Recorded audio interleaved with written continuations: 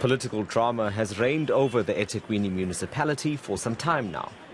Zandile Gumede had been placed on special leave about two months ago after being arrested in connection with a multi-million rand fraud case.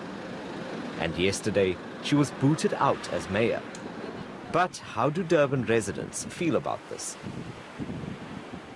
I'm glad that there's a decision finally made on our mayor.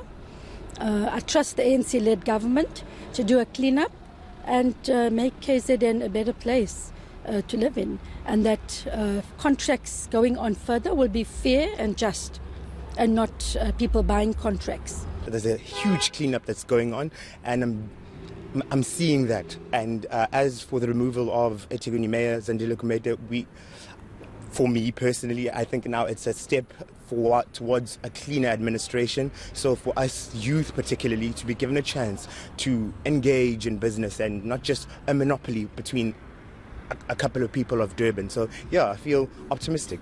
I live in Newlands East and we have uh, a lot of issues surrounding electricity and water. The pipes are not getting fixed. Uh, DSW doesn't come and pick up our refuge. So, yes, the stars affect us. Personally, I don't think it affects me that much. Our service delivery is still there for the next seven days. Uh, well, within the next seven days, I know that a new mayor will be appointed. But in terms of a city, it has affected us in terms of uh, what obviously tourism will suffer. The question is, will a new mayor be able to address all these challenges? Dasen Thathiah in Durban.